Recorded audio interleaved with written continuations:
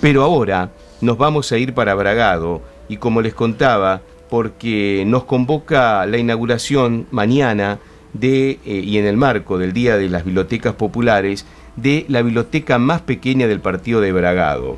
Alejandra Giacomone es la directora de la Biblioteca Popular Manuel Belgrano de Bragado y ya está en contacto con nosotros. Hola Alejandra, Marcelo Muchi y Lía Ayala aquí saludando desde Radio Provincia de Buenos Aires. ¿Cómo va? Bueno, hola, buen día eh, Marcelo y desde ya eh, muchísimas gracias por difundir las actividades de, nuestra ciudad y de nuestra biblioteca. Por favor, contanos un poquito Alejandra eh, en qué consiste, porque vi una imagen que me han acercado de cómo va a ser esa biblioteca. Realmente es la más pequeña, pero bueno, contanos vos, describinos cómo va a ser justamente esta biblioteca que se va a inaugurar mañana. Bueno, eh, la biblioteca en, realidad es, eh, la, es la, la, garita que mm. era del cuidador del Parque San Martín de Bragado. Y esta garita entró en desuso y un vecino se acercó con la iniciativa de formar una biblioteca móvil.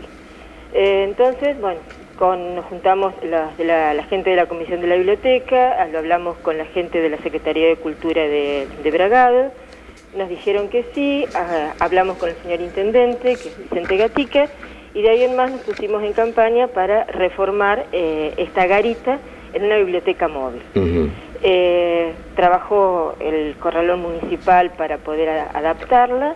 Todo esto, te digo, llevó más de un año. Mira. Eh, la idea apareció el año pasado después de la feria del, libro que hacemos acá en la ciudad. Y decidimos eh, inaugurarla mañana porque es el Día de las Bibliotecas Populares y eh, la Biblioteca Belgrano eh, cumple 75 años este año, o sea que sería el inicio de los festejos de la, de la biblioteca. la biblioteca consiste en, es una garita, muchos lo llaman garita, otros les han dicho baño químico, para que tengan una idea de más o menos de la dimensión, las dimensiones que tiene. Exacto. Mm. le han puesto ruedas y eh, adentro eh, le, han, puesto estantes para colocar los libros para eh, poder llevarla a distintas plazas o distintos lugares de la, de la ciudad. Por ahora la vamos a inaugurar en el patio seco de nuestro Teatro Constantino, que es un teatro muy importante, y la, la idea es que la gente se maneje sola con los libros, o sea que lleve un libro, lo retire, después vaya con los nenes, con el abuelo, o sea, eh, no va a estar manejada por nadie la biblioteca, va a estar manejada por la gente eh, del pueblo, por el ciudadano. Es una cuestión de, confianza. Claro. En algunos lados lo llaman eh, biblioteca con sistema de honor. vamos a ver qué pasa, estamos muy entusiasmados. La, la, idea es, por ahora, la biblioteca ha puesto algunos libros, pero poner libros de cuentos, libros de novelas, para que vayan tanto los adultos como los jóvenes a leer un, rato ahí. Y la metodología será, por ejemplo, una persona lleva un libro propio y lo entrega a esa biblioteca y después otra persona con otro libro también va y toma el primer libro, el que la otra persona entregó, digamos, y así se va manejando. Exacto, ese sería, sería el sistema. Y cuando lo termina de leer, bueno, lo tendría que, que devolver o traer otro, otro libro a la biblioteca. Si realmente funcionara, la biblioteca nunca tendría que estar vacía, siempre eh, tendría que tener libros, porque yo retiro uno y, llevo otro. Pero eh, vamos a ver qué pasa. Hasta ahora hay mucho entusiasmo, hemos recibido ya donaciones de, libros para poner en la biblioteca, eh, así que es una, es una idea muy linda, es un desafío bastante importante porque eh, en estos momentos tenemos que recurrir al, honor, a la confianza de, la gente. Claro. Alejandra, ¿cómo le va? Buenas tardes. Buenas tardes. Lía le saluda. Eh, Encantada. ¿cuánto, ¿Cuánto tiempo le prestan los libros a la gente? ¿Hay un tiempo así pertinente como para devolver el libro o no? No, no, no, no, no. Eh, no tenemos tiempo ni tampoco se anota el libro. Eh, la gente va y lo lleva, puede leerlo en una semana, en un mes, un año. O no devolverlo y traer otro libro. No, no, no es como el funcionamiento de una biblioteca común que tiene una fecha de vencimiento. Cada vez es confianza pura. Es confianza pura, es confianza pura. Y también confianza para que los libros que se devuelvan estén en buen estado. Está muy bien. Y bueno, pero si todo funciona van a tener que agrandar la biblioteca después. claro. buscaremos... Dos baños químicos. buscaremos otra garita en desuso y le pediremos a la gente de, la municipalidad que nos la arregle.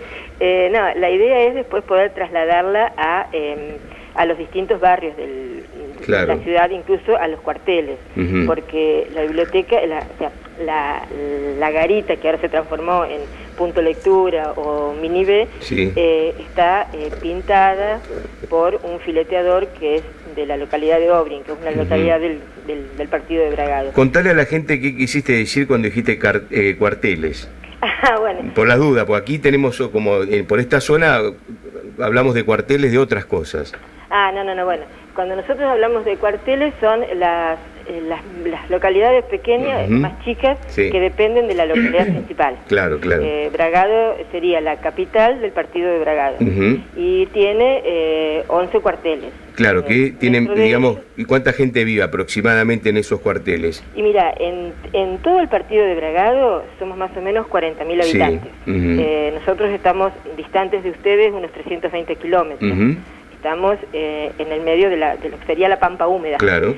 Eh, el, partido en general, en total, tiene alrededor de 40.000 habitantes, de los cuales 30.000 vivimos en la, en la ciudad cabecera, que sería Bragado. Sí.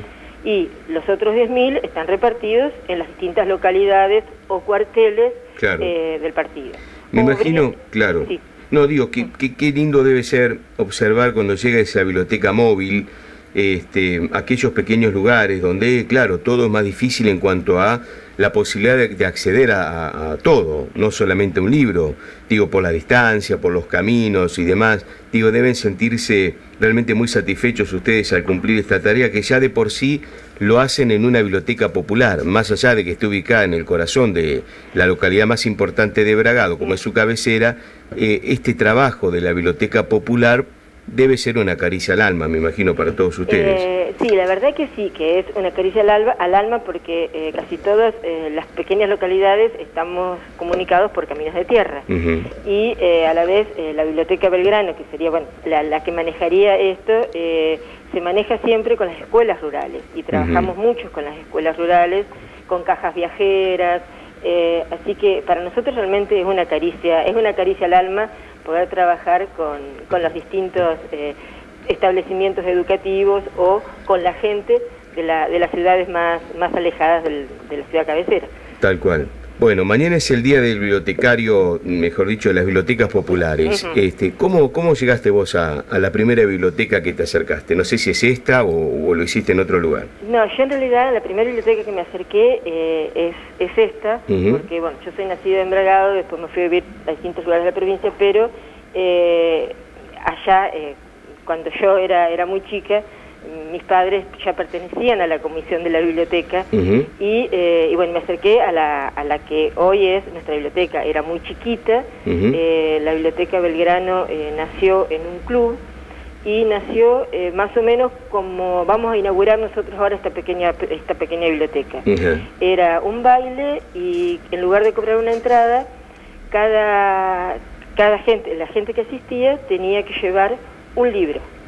Y así se empezó a formar el patrimonio de nuestra biblioteca. Claro. Nuestra biblioteca cuenta con más de 37.000 volúmenes, o sea que somos una, una gran biblioteca eh, y se maneja por una comisión eh, directiva eh, ad honorem y tenemos dos bibliotecarias eh, que, son las que manejan la parte de, libros y préstamos y la parte administrativa. Vos sabés que te voy a decir una pregunta que por ahí tiene que ver con los tiempos que transcurrimos. Las bibliotecas populares o en general, digo, las bibliotecas, cuando la gente se acerca, se acerca porque en las bibliotecas hay material que no se consigue habitualmente en otros ámbitos, como por ejemplo por allí una librería, digo, que lee, que vende un libro hasta un tiempo determinado, después lo deja de vender y no vende libros más antiguos. O se acerca también cuando las condiciones económicas son más adversas y cuesta mucho más, por ejemplo, comprar un libro. Y sí, en, realidad, eh, las dos cosas. Eh, nosotros, eh, la cuota social es muy... porque nosotros nos manejamos con un grupo de socios. Eh, y lo que cuesta una cuota, la cuota de la biblioteca, no llegas a comprar ni la mitad de un libro. Claro. Eh, y la gente se acerca mucho a leer los clásicos, eh, a conocer las enciclopedias. Vienen los chicos de las escuelas con los profesores porque no saben lo que es una enciclopedia. y trabajamos. Más lo que vos decís, tanto con los libros nuevos que van saliendo, que nosotros siempre por medio de la CONAVIP compramos en la Feria del Libro en Buenos Aires.